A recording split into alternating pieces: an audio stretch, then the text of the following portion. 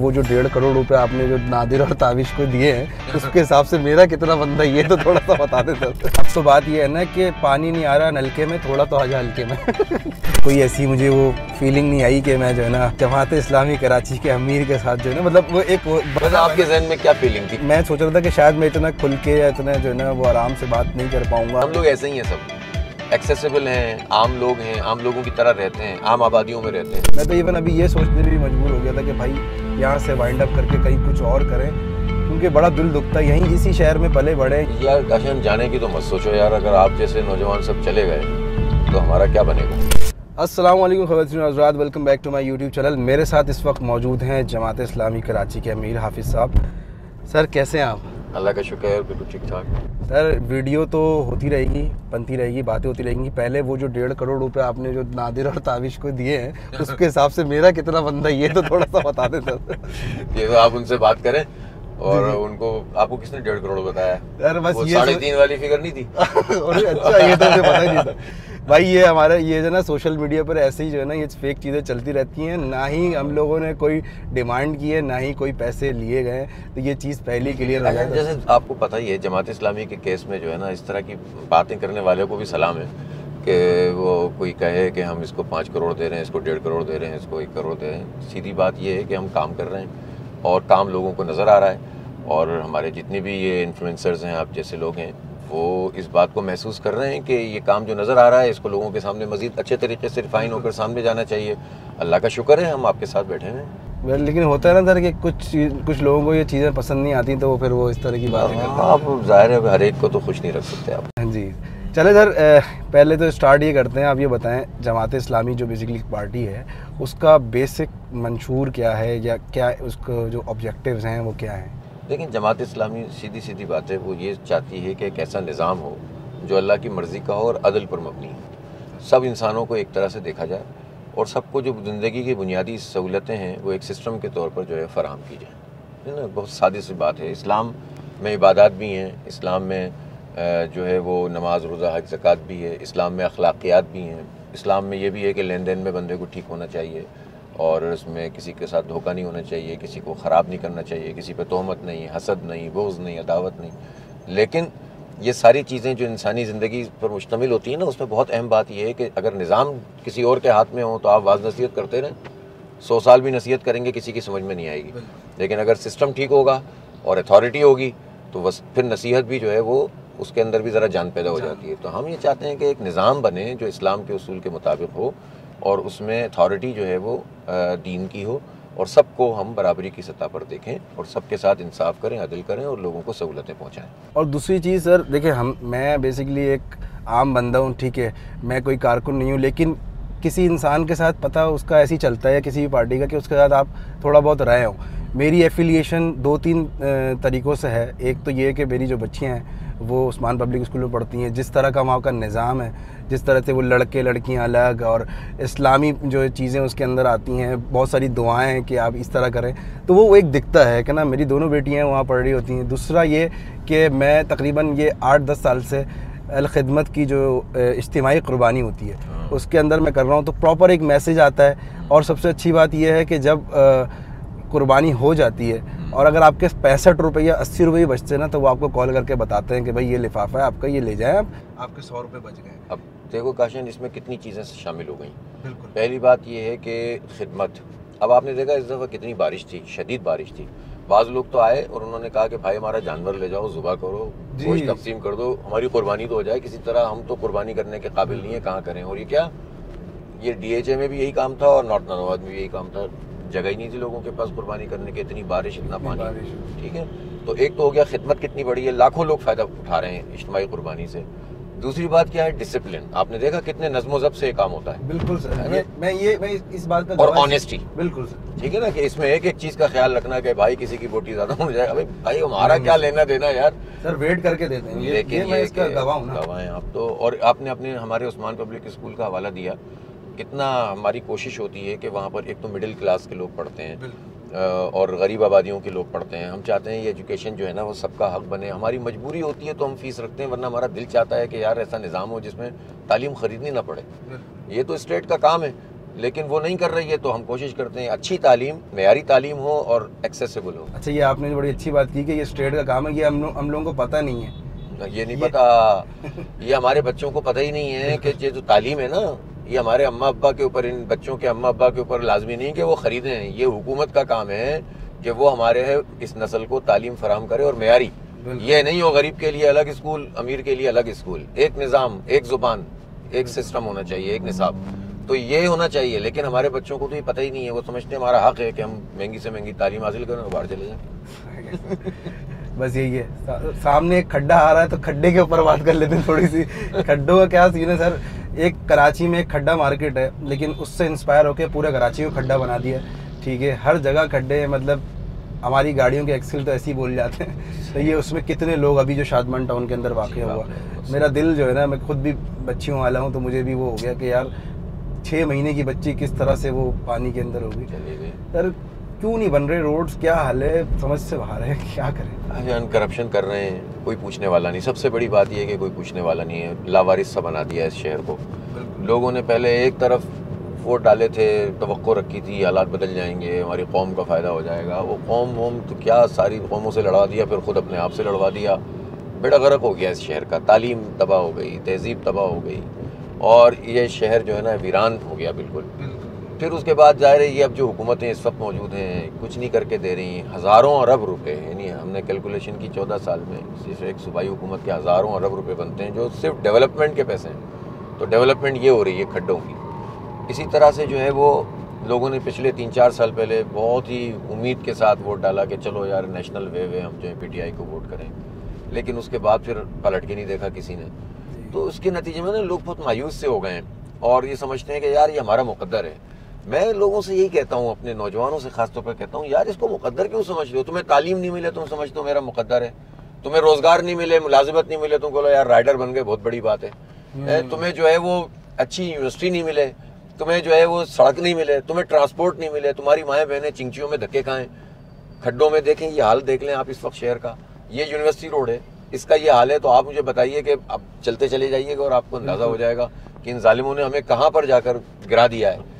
तो जो बड़ी कारपेटिंग झंडे लग लग के हो रही थी ना वो सब बारिश के अंदर बह गई। सर वो तो ऐसे कागज़ की रोड बनाया ऐसे लगे कि जी अब आप मैं नौजवानों से कहता हूँ यार ये तुम्हारा मुकद्दर नहीं है लड़ो। ये शहर ऐसा है कि जो पूरे पाकिस्तान को चला रहा है ये हमारे टैक्सों के पैसों से चल रहा है। हम कुछ भी नहीं करते तो साबुन तो, तो इस्तेमाल करता है ना सब लोग तो उस पर भी टैक्स देते हैं। आप मोबाइल के कार्ड पे भी टैक्स देते हैं। आप मोटरसाइकिल चलाते हैं आप पेट्रोल के ऊपर भी जो है ना लेवी लगा दी जाती है। और आप बताइए मुझे कि हर चीज़ के ऊपर ये टैक्स वसूल करके हमें दे क्या रहे हैं? रियासत का काम है एजुकेशन देना। सबको बराबर की सतह पर एजुकेशन देना रियासत का काम है। अमन देना रियासत का काम है। इलाज की सहूलत शहरियों को देना रियासत का काम है। सड़कें देना रियासत का काम है। रियासत का काम है कि हमें ट्रांसपोर्ट दे। लेकिन जब रियासत कोई काम नहीं कर रही तो अपनी रिट क्यों कायम करती है? तो नौजवानों को चाहिए कि उठकर खड़े हों और अपना हक मांगे और धोखा ना खाएँ बस। सर सामने लिखा हुआ भी है हक दो कराची को। हक दो कराची को। और आगे लिखा होगा वोट दो कराची को। और वोट दो तराजू को। सही बात है सर बिल्कुल। लेकिन मैं ये कहना चाहूँगा सर कि अब जैसे ये रोड्स हैं ठीक है ये एक टाइम पर बने थे उसके बाद आज तक जो है ना वही हाल। में मैं आपको बता रहा था अभी थोड़ी हमारी बात भी हो रही थी कि मैं बहुत छोटा था उस वक्त मैंने अपनी गली को बनते हुए देखा था और अभी ये पाँच साल हो गए मेरी गली टूटी फूटी है गटर का पानी बकरीद आती है ज़ाहिर कुर्बानी होती है। मतलब हम हमारे पास कोई एक ऐसा इदारा नहीं है कोई ऐसा कानून नहीं जहाँ हम जाके अपनी कोई गुजारिश कर सकें कोई रिक्वेस्ट कर सकें या कोई उसके ऊपर सुनवाई हो सके। यानी ये जो ना बिल्कुल मायूसी हाँ, सर बहुत ज़्यादा हो गई है। ये बल्दियाती इदारे जो होते हैं ना लोग समझते हैं बल्दियाती इलेक्शन भी हो जाएगा तो क्या हो जाएगा? आजकल ना ये आम बात है इसीलिए डिले करवाओ। ताकि जान छुड़ाए हुकूमत अट्ठाईस या चौबीस जुलाई अब चौबीस जुलाई था अब अट्ठाईस अगस्त कर दिया। कर दिया। और लोग समझ रहे हैं क्या फ़र्क पड़ता है यार नहीं भी हो तो क्या हो? भाई नहीं हो तो मैं आपको बताता हूँ क्या फ़र्क पड़ता है। आपका अगर कोई भी मसला है ना गली मोहल्ले का जैसे आप कह रहे हैं कि आपकी गली में जो है ना वो पाइप डाल के चले गए थे और उसके बाद से बुरा हाल किया हुआ है। ये यूसी का जो चेयरमैन मुंतखब होगा ना ये उसका काम होगा कि आप उसको जाके पकड़ लें। अब तो अगर तो आप ऐसे बंदे को वोट देंगे जो पलट के आएगा ही नहीं तो आप गए। और आपने ऐसे बंदे को वोट दिया जो कहेगा भाई चलो सीधे होके जाओ अभी हमारे पास कहाँ से आ गए? इलाकों का ही नहीं पता होता कि वो वहाँ के वो एमएनए हैं लेकिन उनको पता ही नहीं ठीक है ना? तो ये आपका वोट ज़ाया हो गया। आप अगर किसी जेनवन पार्टी को वोट देते हैं जो आपके साथ मौजूद रहने वाले लोग हैं आप जिस ज़माने का तस्करा कर रहे थे वो नमतुल्ला खान साहब का दौर था। गली मोहल्लों की सतह पर काम हुए थे। हर गली बनाई थी हर सड़क बनाई थी। मैं ज़िम्मेदारी से कह रहा हूँ कि जहाँ जहाँ लाइन थी ना वहाँ वहाँ पानी आता था। बताइए मुझे पानी अब कितनी जगहों पे आता है। सर अब तो बात ये है ना कि पानी नहीं आ रहा नलके में थोड़ा तो आ जा हल्के में। ये वाली बात है सर। नहीं अब तो वो हल्के में आए ना दोबारा तो उससे बोले भाई वोट मांग के शर्मिंदा ना करो। बिल्कुल यही वाली बात तो यही करना चाहिए उनको। मैं आपको बताऊँ सर मेरे आठ साल हो गए मेरे घर में पानी नहीं आता मैं मजबूर हूँ कि मैं टैंकर डलवाता हूँ। मैं क्या करूँ उसके अलावा? कोई और सोल्यूशन ही नहीं है। अच्छा ये सवाल कभी आपने किया है कि चलो पानी की कमी तो है शहर में? तो जब मेरे नलके में नहीं आता तो मेरे टैंकर में टैंकर में कैसे आता है? ये सवाल तो मुराद अली शाह से बनता है ना। सर बिल्कुल। बनता है कि नहीं बनता? वो कहते हैं लीकेज है। भाई वो लीकेज नहीं है वो चोरी है। वो आप टैंकर में लाके बेच कर अरबों रुपए कमा रहे हैं और नीचे से ऊपर तक का निज़ाम चल रहा है। तो कोई पूछने वाला होगा ना तो ये हम कह रहे हैं कि भाई जमात इस्लामी को सपोर्ट करें आप। हम इन ताला ये पानी की मुनसिफाना तकसीम करेंगे ताकि लोग इतने अजाब में मुब्तला हैं यार। और मंसूबा सत्रह साल से आशान सत्रह साल से कोई एक मंसूबा नहीं बना पानी का। एक प्रोजेक्ट नहीं बना। तो आप बताओ आबादी बढ़ती जा रही है पानी पीछे से आ नहीं रहा जो है वो टैंकरों में आ रहा है तो लोग जाएँ तो जाएगा बहुत बुरा हाल है सर। लेकिन सर आप ये बताएँ चलें अगर ये इंशाल्लाह आप कामयाब होते हैं ठीक है और आप मेयर हो जाते हैं कराची के क्या क्या चीज़ें आपके अंडर आएँगी? किन किन चीज़ों को आप बिल्कुल सही कर देंगे?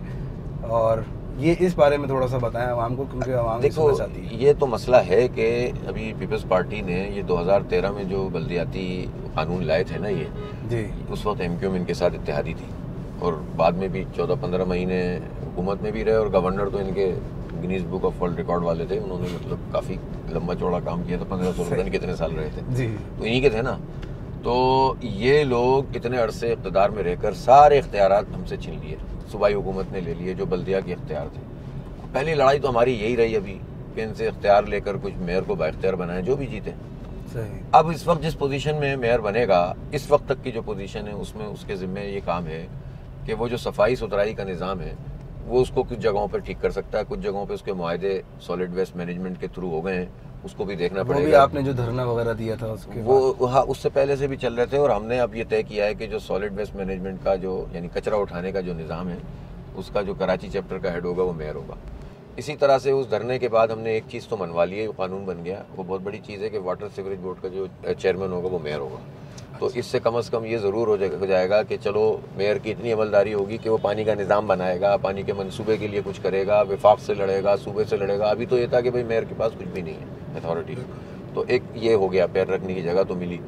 अभी भी बहुत मुश्किल है लेकिन यार बात ये है तो कुछ तो है ना मतलब देखो आखिरी जो मेयर थे हमारे वसीम अख्तर साहब छब्बीस अरब रुपए का बजट पेश किया था छब्बीस अरब रुपए यार अरब मतलब ये एन वाले अरब तो नहीं है ना ये तो अलिफ वाला अरब है यार। है ना? तो इसमें मतलब आप छब्बीस अरब रुपए में कुछ तो छब्बीस सौ करोड़ और फिर सारे जो डिस्ट्रिक्ट विस्ट्रिक्ट के पैसे मिला के कराची में सौ अरब रुपए का बल्दियाती बजट था। आधे तनख्वाहों में भी निकाल देना तो पचास अरब रुपए कहीं तो नज़र आए तो हमारा मेयर जो है, जमात इस्लामी का, वो कम अज़ कम ये काम तो करेगा ना कि जो पैसे हैं, उनको सही तरीके से वसूल करेगा, सही तरीके से खर्च करेगा। अभी मैं नौजवानों से कहता हूँ, कहीं बाइक खड़ी करो, आ जाते हैं पर्ची लेकर। बिल्कुल। आ जाते हैं। एक ऑरेंज टोपी लगानी है एक हाँ। देनी है कहाँ से आ अच्छा अब वो ऑरेंज चौपी वाला के का है नहीं है ठेकेदार है क्या है पैसे कहाँ जा रहे हैं हमें नहीं पता। के में तो नहीं जाते थे। ये जितने भी एडवर्टाइज नज़र आ रहे हैं आपको ठीक है? इन सब के पैसे के में जाने चाहिए नहीं जा रहे। इस वक्त भी नहीं जा रहे पता है मुझे ये बात। ये प्राइवेटाइज है ये ये इन्होंने अपने अपने खांचे खांचे का लफ्ज सही है? हाँ वो लगाए हुए तो जो पैसा जाना चाहिए के के फंड में वो पैसा जेबों में जा रहा है। जब मेयर थे तो उनके पास जा रहा था अब एडमिनिस्ट्रेटर हैं। तो मैं मतलब बता दूँ कि भाई ज़ाहिर निज़ाम तो वही है ना मैं किसी की ज़ात पर बगैर देखे कैसे हमला करूँ लेकिन सिस्टम तो उनके पास है ना तो करप्शन तो हो रही है ना। तो ये पैसा है ये जो सनशेड होता है ना सनशेड जानते हैं जो दुकान के आगे लगाते हैं इसके भी पैसे होते हैं। ठीक है इसके भी चार्जेस होते हैं ये जाने चाहिए के में और टाउन में वो भी वो कहाँ जा रहे हैं। चलो अब आ जाओ रोड कटिंग के पैसे होते हैं एक कि किसी अगर ये के इलेक्ट्रिक वालों को यहाँ से यहाँ तक काम करना है ना तो बेशक वो रोड काटे ना काटे इस इस काम के दौरान में जो दरमियान की जगह है ना उसका पैसे चार्ज होते हैं। अच्छा। समझ में आया ये बात समझ में चाहिए नौजवानों मतलब को खास ये technical चाहिए, चीज़ें है ना? इसके भी पैसे होते हैं ये पैसे जा किधर रहे थे भाई पहली बात ये और जो आ रहे थे वो कहाँ जा रहे थे जो जो जो यहाँ से आ रहे थे वो केएमसी में नहीं जा रहे थे जो केएमसी में आ रहे थे वो पब्लिक पे नहीं जा रहे थे हाँ। तो भाई हमारा मेयर कम से कम ये काम करेगा कि वो जो पैसा हमारे पास होगा उस पर काम करेंगे बेईमानी नहीं करेंगे इंशाल्लाह। हमने पहले ईमानदारी से काम करके दिखाया है। इख्तियार का रोना नहीं रोएँगे इख्तियार से ज़्यादा काम करेंगे। और मजीद इख्तियार के लिए लड़ेंगे। फार्मूला आसान है इख्तियार से ज़्यादा काम करेंगे और मजीद इख्तियार के लिए आवाम के साथ मिलकर लड़ेंगे। बस ये इस फार्मूले पे काम करेंगे तो ये हालत तो नहीं रहेगी इस शहर की इससे बेहतर कर देंगे। और सर बचपन से ही देख रहा हूँ मैं ये कि जो है ये हमारी फोर के चलती थी फोर जे चलती हाँ। थी आज भी वही बसें हैं। कभी कोई कराची में कोई ट्रांसपोर्ट सिस्टम था या हमारे हमारे एक अज़ीज़ हैं तो वो ज़रा ऐसे झुक के चलते हैं। तो उनका नाम सिक्स बी रखा हुआ था। वो थोड़ी टेढ़ी होकर चलती थी जब ज़्यादा उसमें सवारी हो जाती थी ना। तो बात ये है कि भाई वही बसें अभी भी हैं बाकी आहिस्ता आहिस्ता ख़त्म ही होती चली गई। ट्रांसपोर्ट का कोई सिस्टम मौजूद नहीं है। नहीं आप। इस सड़क के ऊपर देख लें शाम का वक्त है। कोई गवर्नमेंट की गाड़ी नज़र आ रही है आपको? नहीं नहीं आ रही। प्राइवेट सेक्टर के अंदर भी कोई ऐसी बड़ी गाड़ियाँ कि जिसके नतीजे में वो मोटरसाइकिलें कम हो जाएँ नहीं नज़र आ रही आपको? आप सड़कें ऐसी बनाएँगे तो कौन इन्वेस्टमेंट करेगा भाई? जो सड़कें पहली बारिश में बह जाएँगी तो उस पर कौन सी ट्रांसपोर्ट कंपनी इन्वेस्टमेंट करेगी यहाँ पर? ठीक है ना? तो इंफ्रास्ट्रक्चर से लोग आते हैं ना इन्वेस्टर आता है तो उसके नतीजे में निज़ाम ठीक होता है। तो यह नहीं है। ट्रेन का निज़ाम यहाँ होना चाहिए। पूरी दुनिया में बड़े शहरों के अंदर सबवेज चलती हैं। और नमतुल्ला खान साहब ने इस पर काम शुरू भी कर दिया था। एक कंपनी से बात हो गई थी चालीस साल की दफ़े पेमेंट पर तय हो गया था। जालिमों ने होने नहीं दिया। अब मैं क्या तफसीलात बताऊँ? देखा जो तीर खा के कमी गाह की तरफ़ अपने ही दोस्तों से मुलाकात हो गई। और तो, भाई क्या हाल है? क्या हाल है? अच्छा कमी गाह का मतलब उर्दू अदब में वो वाला नहीं होता जो लोग आजकल समझते हैं। कमी गाह मतलब जो छुपा होता है बंदा। अच्छा अच्छा उसको कहते हैं। तो जब पीछे देखा मुड़ के तो पता चला कि अपना ही दोस्त था जिसने तीर मारा है। हम्म, तो ये तीरों का सिलसिला अभी तक जारी है।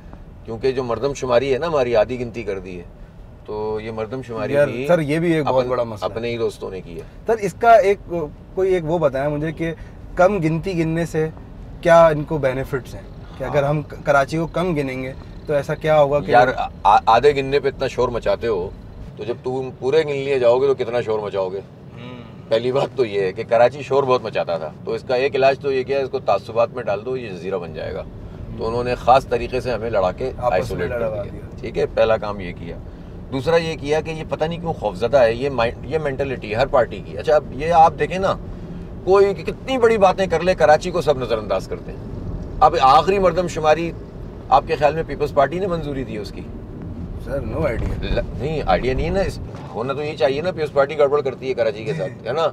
पता है चला कि नहीं नून लीग ने तो की थी आधी लेकिन उसको नोटिफाई इमरान खान साहब और एमक्यूएम ने किया है। नोटिफाई करने का मतलब पता है, कानूनी हैसियत में अब हम आधे हो गए। पहले हमें गिना आधा था, लेकिन कानूनी तौर पर आधे नहीं थे। फड्डा चल रहा था कि भाई मतलब होना चाहिए कि नहीं होना चाहिए। इस पर झगड़ा था। अब उन्होंने हमें लीगल तौर पर आधा कर दिया और काम नई मरदमशुमारी कराएँगे, वो भी नहीं कराई उन्होंने दो साल मजीद। और अब जो हो रही है, वो भी पुराने तरीके पर हो रही है। तो हम ये समझते हैं कि हमारी हाजिरी तो पूरी लगाओ ना भाई। जितने लोग रहते हैं यहाँ पर गिने जाएँ उन्हीं के हिसाब से प्रोजेक्ट बनेंगे उसी हिसाब से वसाइल मिलेंगे। तो ये डंडी इसलिए मारते हैं कि जब आप यहाँ के डेढ़ करोड़ लोग नहीं गिनेंगे तो जहाँ ये गिने जा रहे हैं मुस्तकिल पते की बुनियाद पर वसाइल तो वहाँ चले जाएँगे ना। बिल्कुल। और जो इसम्बलियों की नुमाइंदगी है वो भी वहीं चली जाती है वो वो आबादी के ऊपर काउंट होता है। तो ये बड़े मामले बड़े नाजुक हैं। बड़े नाजुक मामला सर ये अभी लोकल बॉडीज के जो इलेक्शंस हैं हाँ। वो आगे बढ़ गए हाँ। अब अल्लाह न करे अगर और आगे बढ़ते हैं हम्म, क्योंकि बहुत सारे लोग तो नहीं चाह रहे कि ये हों। हम्म। सही है। तो फिर क्या हाल है? मतलब उस लड़ेंगे करवाएँगे इनसे इंशाल्लाह। देखें अब तो ये बात है कि अब पीछे नहीं हट सकते। बिल्कुल। सही है ना? अब तो हम जिस जगह पे आ गए हैं हमारे पास खोने के लिए क्या है? कराची के लोगों के पास। मतलब अब आप मजीद क्या तबाह करेंगे हमें? बच्चों को तुम हमें जॉब नहीं दे रहे हैं? सियासी बुनियादों पे भर्तियाँ कर रहे हो। पढ़ने के लिए उनके पास इदारे नहीं हैं महँगी महँगी तालीम है ठीक है? आप कुछ भी नहीं दे रहे ना खेल के मैदान दे रहे हो। इस वक्त स्पोर्ट्स का हाल क्या है? जो मैदान है उस पर या तो चाइना कटिंग हो गई या फिर अगर या कचरा कुंडी है। या फिर सर उसे ग्रिल ले गए चरसी उर्सी निकाल के ले गए मतलब- और अगर अगर कोई इसकी मेंटेनेंस कर रहा है तो वो ठेकेदारी निज़ाम के तहत मोहल्ले का बच्चा तो खेल ही नहीं सकता। तो हमारे बच्चे खेले कहाँ? तो खेल भी नहीं दे रहे तुम। ठीक है कोई निज़ाम नहीं है खेलों का। जो जो डिपार्टमेंट की क्रिकेट होती थी हमारे नौजवान तो, तो वो ख़त्म कर दी पिछली हुकूमत ने। उनको शौक था ये बहुत।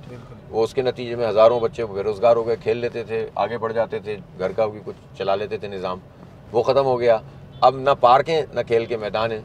तो उसके नतीजे में अब हमारे पास खोने के लिए क्या है? तो भाई अब लड़ो जिद्दोजहद करो हम खड़े हैं तुम्हारे साथ। और इनसे इलेक्शन करवाएँगे भी इनशाला और इन अल्लाह ने चाहा तो इनशाला कराची के लोग जिस तरह से अब सोच रहे हैं अब हालात बदलेंगे, ऐसी बात नहीं है। मायूस होने से तो सब कुछ ही तबाह हो जाता है। बिल्कुल सर। आपने पार्क्स की, स्पोर्ट्स की बात की सर। हमारा जो, हम जो वीडियोस बनाना स्टार्ट किए हमारे घर के सामने एक बी पार्क है।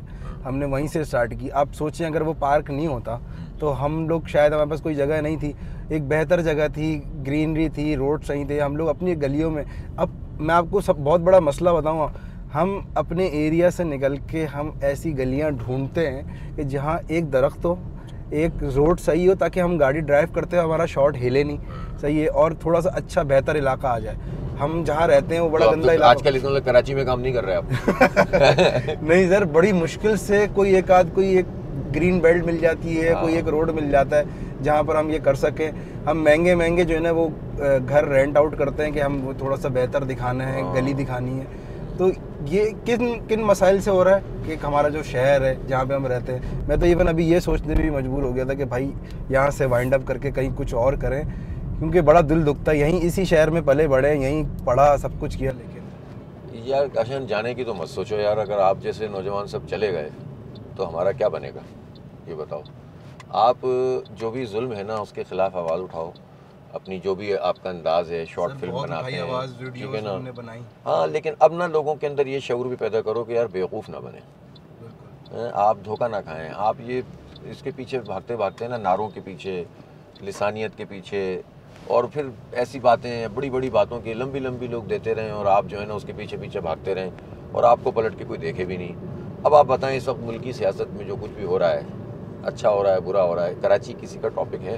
भाई कराची तीन करोड़ इंसानों का इसी मुल्क के रहने वालों का शहर है। कराची इस वक्त भी पिछले साल के मुकाबले में उसने 42 परसेंट टैक्स ज़्यादा दिया। ठीक है कराची इस इन हालात में भी आपको आधी से ज़्यादा एक्सपोर्ट करके दे रहा है। लेकिन किसी पार्टी की तरजीह में कराची है आप मुझे बताओ आप। तो ये शूर लोगों को दो कि यार तुम बहुत किसी को सपोर्ट करने वाले होगे होते रहो तुम्हें पर्सनालिटी कोई अच्छी लगती है। पूजो उसे भाई अल्लाह माफ़ करे। लेकिन आप हक हक तो और जो है ना सच के ऊपर जो खड़ा हुआ है उसका साथ दो। और अपना वोट भी और अपनी सपोर्ट भी उसके साथ दो जो कराची के लिए खड़ा हुआ है। तो बस ये शऊर आप पहुँचाएँ। अगर आप भी चले गए तो फिर क्या बनेगा? सारे नौजवान चले जाएँगे। सब ये कह रहे हैं हमें यहाँ नहीं रहना बाहर जाना है। सब नहीं जा सकते यार। आप जा सकते हो सब नहीं जा सकते। हाँ, जब सब नहीं जाएँगे तो क्या करेंगे? बताओ। टीटी पकड़ेंगे। हाँ फिर वही होगा आपके साथ जो भी जो कुछ पहले हुआ है। बिल्कुल सर। सारा इक्विपमेंट ही चला गया। साढ़े चार लाख रुपए छह सेकंड में चले गए। छह सेकंड में। देखें आप। क्या शॉर्ट फ़िल्म बनी होगी हम खड़े हुए हमने अच्छा वो लोग आए थे मोबाइल हाँ, लेने। हाँ। लेकिन उनको लॉटरी लग गई जैकपॉट लग गया। अब मसला ये है ना कि मैं कोई एक बार नहीं अब तो हम हम जो कराची वाले हैं हाँ, ना वो ऐसा है कि हर बंदे का कोई ना कोई मोबाइल छिन चुका है एक। मरतबा ना। तो हमें टैक्टिक्स भी पता है भी उन्हीं लोगों में शामिल है अच्छा सर। जिसके अलहमदुल्ला चार पाँच छह वाकयात तो मैं भी बयान कर सकता हूँ। तो वो उनको पता है कि जब वो आएँगे तो कैसे रिएक्ट करना है। हम हाँ। लोग मतलब बड़े जो है ना इनके तौर तरीके समझ चुके हैं। अब देखो यार। ये ये सर देखें। ये ये कौन सी जगह है ये देखें आप? सर ये है Aladdin water park amusement park है जहाँ पे आपको झूले मिल रहे हैं सर। सर हम कश्ती वाले झूले में बैठे हुए बहुत मज़ा आ रहा है सर ये देखें। ये हमने एक वीडियो भी बनाई थी अपने चैनल पर अच्छा। जिस पे हमने ये दिखाया था कि भाई बच्चे जो है ना रात में वो जिद कर रहे हैं अपने अब्बा से कि जो है ना हमें झूले झूलने हैं। हाँ। ठीक है तो अब्बा बोले अब क्या करूँ? उसने कहा चलो कराची की सड़कों पे चलते हैं। हम्म। इतने खड्डे मिलेंगे कि वैसे ही झूले मिल जाएँगे बच्चे खुश हो जाएँगे। फिर हमने दिखाया बच्चे खुश हो रहे हैं बोले बाबा आप बहुत अच्छे हैं क्योंकि आपने हमें झूले झूलाए तो ये हम थोड़ा सा लाइटर मूड के अंदर क्योंकि दिन भर लोग जो है वो बड़े मुश्किल में रहते हैं। अच्छा सर ये बताएँ कि आजकल जो है नौजवानों में भी मैं ये देख रहा हूँ कि काफ़ी जो है ना वो वो समझ रहे हैं कि अब किसको वोट देना है क्या करना है। ठीक है तो आप मुझे बताएँ कि अगर आप आते हैं मेयर बनते हैं तो आप ख़ास तौर पर नौजवान और ख़वातीन के लिए ऐसा क्या काम करेंगे जिससे उनको बहुत फ़ायदा होगा या उनके लिए बेहतरीन होगा? अच्छा देखें आगाज़ तो यहाँ से करेंगे दो चीज़ों से। एक तो जो स्कूल्स हैं ना हमारे के एम सी के तहत भी आठ नौ सौ स्कूल हैं। इन स्कूलों को इन हम इस काबिल करेंगे मॉडल स्कूल बनाएँगे ताकि यहाँ पर ये हो जाए दो तीन साल के अंदर इसमें मेहनत करके कि जिसमें मिडिल क्लास लोग और अपर मिडिल क्लास लोग भी फ़ख्र के साथ अपने बच्चे को दाखिल कराएँ ताकि ये तकसीम ही ख़त्म हो जाए कि सरकारी स्कूल में सिर्फ़ वो पढ़ेगा जिसका जो कहीं फ़ीस अदा नहीं कर सकता। ठीक है ना? ताकि ये हम अपने मैार की बुनियाद पर और माहौल की बुनियाद पर इन ताला इन स्कूलों को अपग्रेड करेंगे। इससे छोटे यानी पूरी फैमिलीज़ इससे जो है इन शाला ताला बेहतर होंगी ये बात ऐसी ख्वाब नहीं हम करके दिखा चुके हैं पहले भी। सेकंड बात यह है कि हम आईटी के लिए बहुत स्पेशल जहन रखते हैं। अब आप ये कह सकते हैं कि भाई मेयर का क्या काम? आईटी के तालीम से बहुत बड़ा काम है। और मैं आपको ये बता रहा हूँ कि अभी हमारे पास तो मंतखब इदारे नहीं हैं और हमारी कोई पोजीशन नहीं है। लेकिन आ, हमने बनो काबिल के नाम से जो आईटी का एक बहुत बड़ा प्रोजेक्ट शुरू किया है उसमें बहुत बड़े पैमाने पर यूथ लड़के लड़कियाँ आ गई हैं जो मैट्रिक इंटर पास और इसी तरह और भी ग्रेजुएट हैं।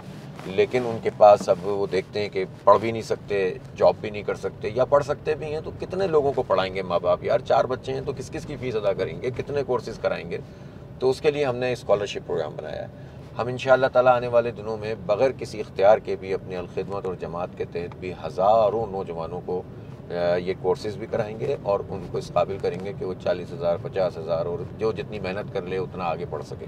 तो ये तो हम बग़ैर किसी उसके कर रहे हैं। मेयर की पोजीशन को इस्तेमाल करके ये मैं पूरी ज़िम्मेदारी से बात कह रहा हूँ। इन जमात इस्लामी शहर में एक बहुत state of the art institute बनाएगी। यूनिवर्सिटी बनाने का हमारा प्लान है आईटी यूनिवर्सिटी और हम अपने बच्चों को पढ़ाएँगे और इस काबिल करेंगे कि वो यहाँ जॉब्स कर सकें रेस्पेक्टेबल जॉब मिले इनको। और वो पूरे पाकिस्तान की रेमिटेंस में भी इजाफा करेंगे। आपको पता है इस वक्त जो है इतना काम होता है दुनिया भर में जो अब लोग फ्रीलांसिंग के ज़रिए से कर सकते हैं और कितने नेटवर्क मौजूद हैं कि आप ई कॉमर्स से उसके ज़रिए से आप कर सकते हैं। तो हमारे ख्याल है कि हम अपने बच्चों को ये सारी चीज़ों से गुजार कर इस काबिल करेंगे कि यहाँ पर हम तीन से चार साल में अगर हमारी दो बिलियन डॉलर इस वक्त एक्सपोर्ट है आईटी की पूरे पाकिस्तान की जो सिर्फ़ शहर कराची ये ये सलाहियत रखता है कि इन हम आठ दस बिलियन डॉलर तक इसको लेकर जा सकते हैं चार साल में। इन इससे मुल्क को भी फ़ायदा है हमारे शहर को भी फ़ायदा है हमारे बच्चों को रोज़गार मिलेगा जॉब्स मिलेंगी लेकिन बच्चों को नौजवानों को लड़के लड़कियों को मेहनत करनी पड़ेगी। ये बात सबको समझा देनी चाहिए कि बगैर मेहनत के कुछ भी नहीं मिलता। कुछ भी नहीं मिलता। तो आप मेहनत करें हम आपको सपोर्ट करेंगे। तो ये तो हमारे जहन में बिल्कुल है कि हम ये करेंगे। फिर इसी तरह स्पोर्ट्स के लिए हम चाहते हैं कि यूसी के लेवल तक जो है ना स्पोर्ट्स की टीमें बने टाउन्स की टीमें बनाएँगे। टाउन्स हैं पच्चीस। अब इस दफ़ा पच्चीस टाउन बनेंगे शहर में। एक सिटी होगा एक पच्चीस टाउन होंगे फिर यूसियाँ हम इनके इंटर टाउन कंपटीशन कराएँगे टीमें बनाएँगे। इनको मुफ़्त अगर गवर्नमेंट से हमें ऊपर से सपोर्ट नहीं मिलेगी तो हम इंडस्ट्रियलिस्ट के पास जाएँगे कारोबारी लोगों के पास जाएँगे। इनसे कहेंगे ऑन करो टीम भाई। एक टाउन की टीम को एक एक जो है वो इंडस्ट्री ऑन करे। आप देखें इससे स्पोर्ट्स में भी एक मुसाबकत पैदा होगी। इंडोर गेम्स होंगे। लड़कियों के लिए भी हम स्पोर्ट हम जब नमतुल्ला खान साहब के ज़माने में तो ख़वातीन का एक हमने स्पोर्ट्स कॉम्प्लेक्स बना दिया था उस वक्त। हाँ ये तो हमारे जहन में बिल्कुल है। ख़वातीन के लिए रिक्रिएशनल सिस्टम हमें जो है पार्क बनाना है। हमें इनको भी आईटी के इस पूरे से गुजारना है। हम ये चाहते हैं कि हम इस पोजीशन को इस्तेमाल देखें शहर के अंदर जब डेवलपमेंट नज़र आएगी ना तो दुनिया भर के लोग ये शहर तीन करोड़ लोगों का शहर है। दो करोड़ तो इसमें वो लोग हैं जो एक यानी तीस साल तक की उम्र के हैं। अगर आप मेट यानी समझ लें पंद्रह सोलह साल से लेकर तीस साल की उम्र के लोग लगाएँ वो भी सवा करोड़ डेढ़ करोड़ हैं। तो आप बताइए, इतना रिच ये शहर मौजूद हो टैलेंट भी हो पोटेंशियल भी हो, और इसको ऐसी रगड़ा दिया जा रहा हो, और हर आदमी मायूस हो तो इसको उम्मीद नज़र आएगी तो यहाँ कारोबार भी आएगा, यहाँ जॉब्स भी आएँगी, और ये पढ़ेंगे भी इन ताला। ये हमारा एक जहन है। अल्लाह ने चाहा तो हम ये करेंगे, लेकिन उसके लिए लोगों को हमें सपोर्ट करना होगा। बिल्कुल, सर। अल्लाह करे आपने, सर, जितनी भी बातें की हैं, उसमें अल्लाह ताला कामयाब करे। हम दोबारा से इस शहर को दमकता चमकता देखें। हम सब की यही ख्वाहिश है क्योंकि ये हमारा कहते हैं ना कि जहाँ आप रहते हो वही आपका एक मुल्क होता है वही एक शहर है ना आपका। वो आपका घर होता है घर है बिल्कुल सर वो अब हर गली हर मैं अब यहाँ से निकलता हूँ मैं अपने काम पे जाता हूँ तो मैं चाहता हूँ वो वो एरिया भी सही हो जहाँ मैं रहता हूँ वो भी सही हो। तो अल्लाह पाक आपको इस तमाम काम में जो है वो कामयाब करे। और सर बहुत अच्छा लगा आपसे मुलाकात करके बात करके और बहुत मज़ा आया। मतलब कोई ऐसी मुझे वो फीलिंग नहीं आई कि मैं जो है ना जमात इस्लामी कराची के अमीर के साथ जो है ना मतलब वो एक वो बना हुआ जहन में क्या फीलिंग थी? क्या होगा? क्या कोई अलग कहेंगे सर नहीं फीलिंग ये होता है कि एक एक एक रिजर्वनेस होती है ना कि मैं मैं सोच रहा था कि शायद मैं इतना खुल के या इतना जो है ना वो आराम से बात नहीं कर पाऊँगा कुछ बातें होंगी लेकिन शायद हमारी थोड़ी सी कमज़ोरी है कम्युनिकेशन की कमी है जिसकी वजह से लोग हम हमें जहन में बिल्कुल एक बना लोग ऐसे ही हैं सब। एक्सेसिबल हैं आम लोग हैं आम लोगों की तरह रहते हैं आम आबादियों में रहते हैं। गरीब भी हैं हमारे यहाँ अमीर भी हैं सब कुछ हैं। लोगों से कम्युनिकेशन हमारी बढ़ेगी ना लोगों को बहुत मज़ा आएगा। उनको पता चलेगा कि जेनवन जमात क्या होती है जिसमें आकर हमें सबसे इज़्ज़त भी मिले और हम कुछ कर भी सकें और हमारे जैसे लोग बिल्कुल सर।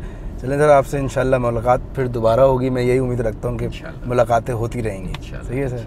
ओके। थैंक यू अल्लाह हाफिज़।